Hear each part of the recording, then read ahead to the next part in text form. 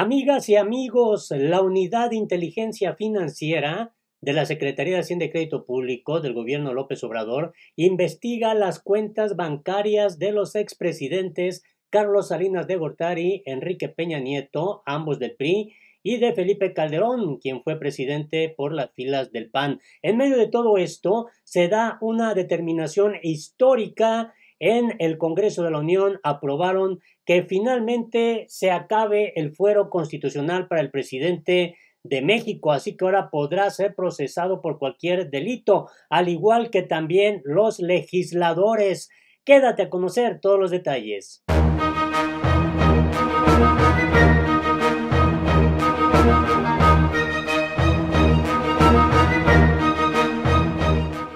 Hola, me da mucho gusto saludarte este jueves 26 de noviembre del 2020 y vamos directo a esto que se ha dado a conocer. Es una noticia verdaderamente sorprendente que se informe que están siendo investigados expresidentes de México, sus fortunas, su dinero, su riqueza. Ya está siendo investigada por la Unidad de Inteligencia Financiera. Y vamos a retomar esto que dio a conocer el imparcial la Unidad de Inteligencia Financiera investiga cuentas de Enrique Peña Nieto, de Felipe Calderón y de Salinas de Gortari. Así es como se revela esta información. Nieto Castillo se abstuvo de proporcionar más detalles para no afectar la investigación, aunque refirió que se hará la integración para que en su momento se pueda presentar la denuncia.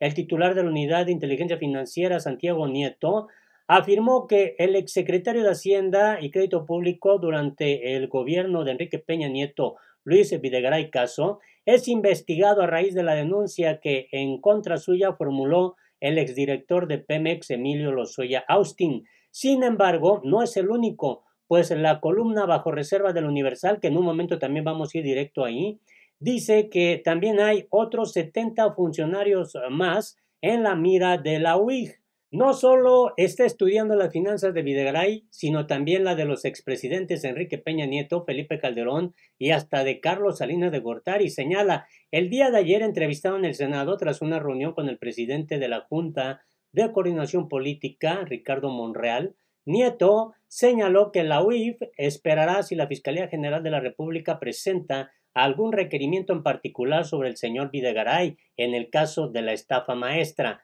Nieto se abstuvo de proporcionar más detalles para no afectar la investigación, aunque refirió que se hará la integración para que en su momento se pueda presentar la denuncia o bien requerir a la Fiscalía General de la República más información.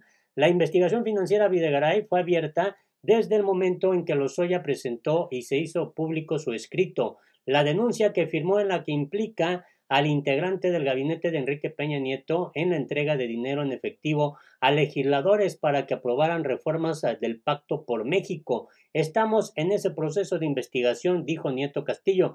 En lo que se refiere a Rosario Robles y la estafa maestra, vamos a esperar si la Fiscalía General de la República nos hace algún requerimiento en particular sobre el señor Videgaray.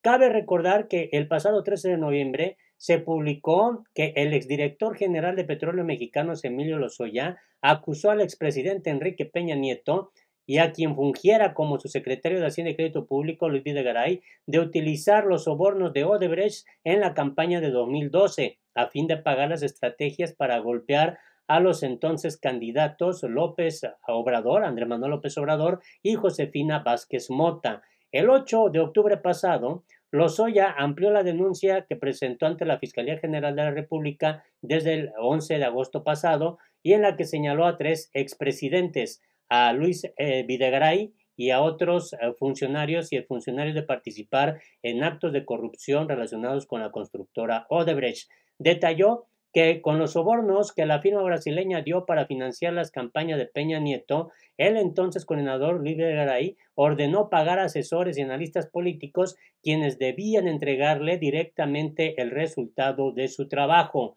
Hay dos denuncias contra Robles.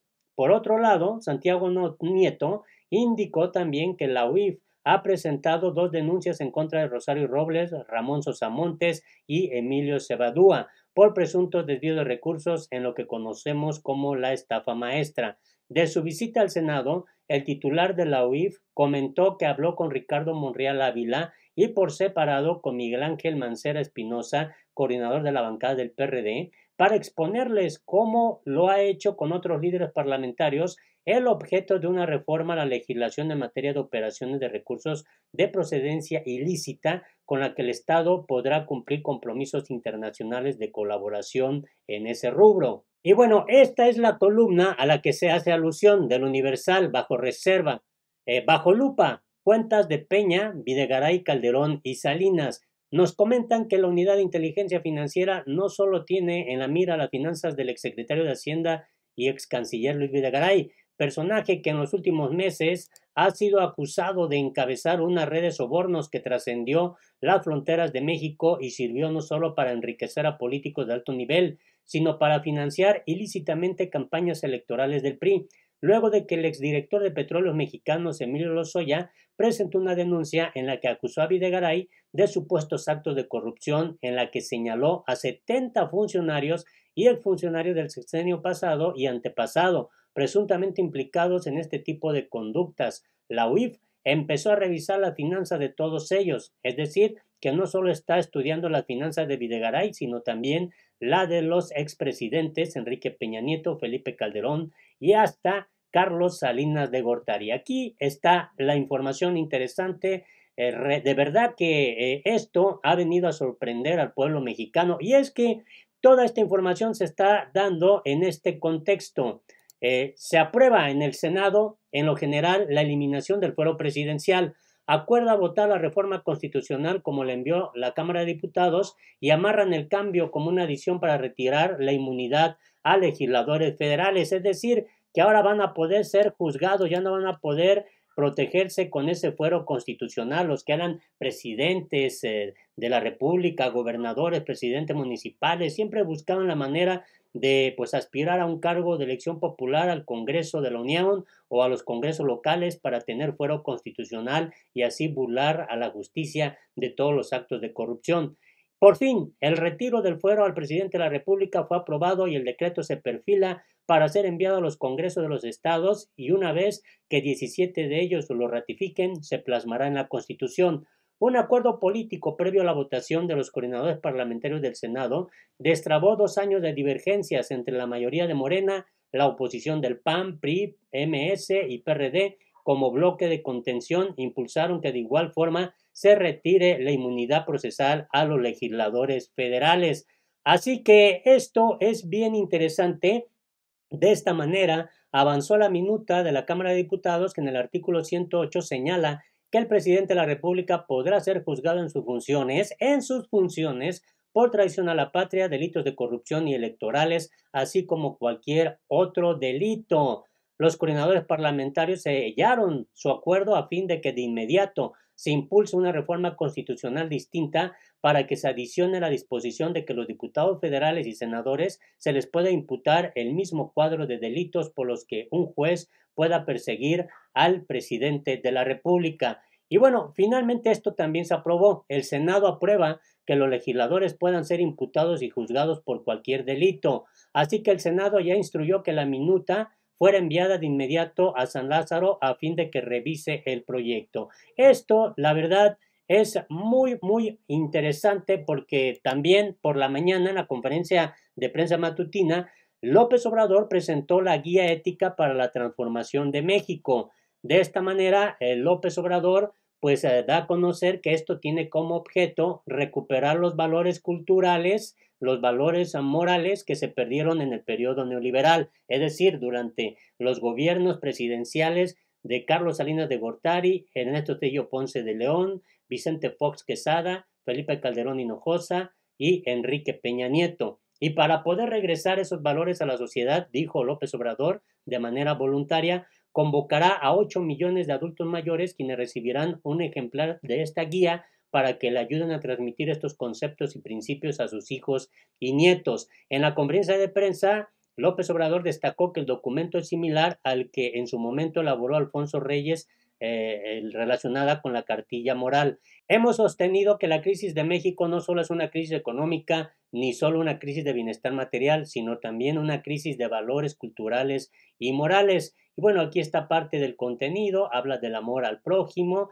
es la esencia del humanismo y se presentó un proceso de degradación de la vida pública, una decadencia y para enfrentar no basta con acciones que mejoren las condiciones materiales, es importante fortalecer los valores, procurar el bienestar del alma.